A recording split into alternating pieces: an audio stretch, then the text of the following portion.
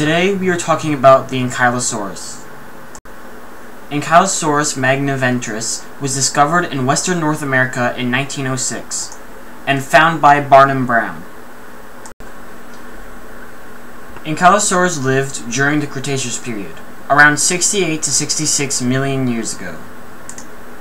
The Ankylosaurus could very well be the largest ankylosaurid, due to it growing potentially between 20 and 26 feet in length and being estimated to weigh between 5.3 and 8.8 tons. The Ankylosaurus is part of the Ankylosauria family group. Members of this group include Nodosaurus, Polacanthus, Euoplocephalus, and others. The Ankylosauria family group is divided into two different groups. Those are named Nodosauridae and Ankylosauridae. All these animals that are part of these groups are classified as herbivorous creatures, also known as plant eaters. Ankylosaurus was built like a tank, literally. It was a quadrupedal dinosaur with some very noticeable features. One of the main and most well-known features of the Ankylosaurus is the club located at the end of the tail. The odd-looking tail club is made up of two large osteoderms, for when the tail is swung, it is strong enough to break and crush bone. Another characteristic of the Ankylosaurus is that it had an armored body covered with more yet smaller osteoderms, as well as having these same osteoderms on the head of the animal. Ankylosaurus isn't the best candidate when it comes to speed and running, due to the animal being incredibly heavy. However, when it has an unbreakable armored body as well as a bone-breaking tail club, there isn't much need for speed when you really think about it. There is a con, however, with this tank of an animal, and that is the underside not being protected. So if the Ankylosaurus is flipped onto its back, it is game over, but that's if the predator can get near the Ankylosaurus. Ankylosaurus lived in what is now western North America, which means that they lived beside dinosaurs such as Tyrannosaurus rex, Triceratops, and Edmontosaurus, as well as many other dinosaurs. The environment that the Ankylosaurus liked was warm and humid, almost near a tropical climate, living in places that were rich in vegetation. Ankylosaurus had a skull that could measure up to 64.5 centimeters in length, as well as a brain about the size of a walnut. It had a beak-like mouth, perfect for eating tough leaves and pulpy fruits.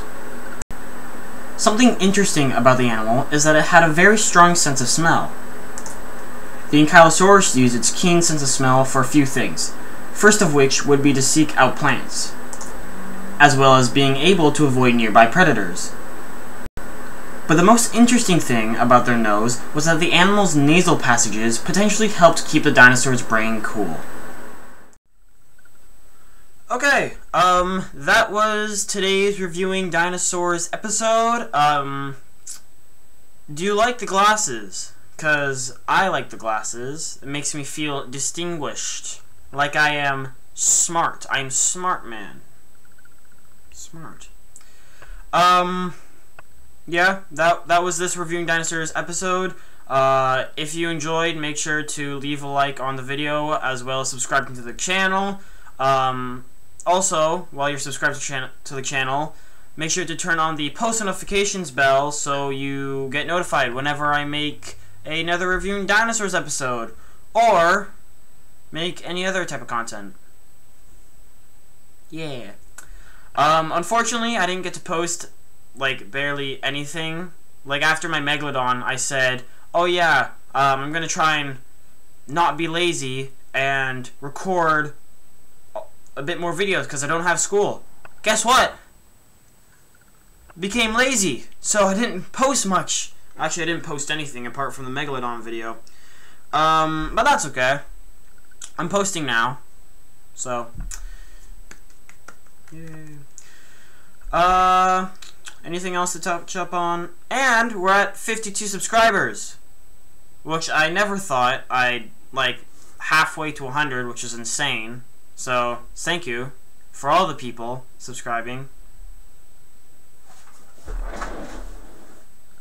I have no idea what that was. But, um, thank you for everybody who has subscribed. Like, thank you, because I never thought I'd reach halfway to 100 so soon. It's actually been like a year. No, uh, no, not a year. Just like a couple of months. Actually, yeah. See, the glasses make me look smart, but uh, I'm not actually that smart, am I? Or am I? Okay, I'm just gonna... I'm just stalling at this point. Um, hopefully you enjoyed the video. Um, which I hope you do, and I hope I see you guys on the next video. God, I'm horrible at doing outros. Hope to see you in the next video. Have an amazing rest of your day. Goodbye.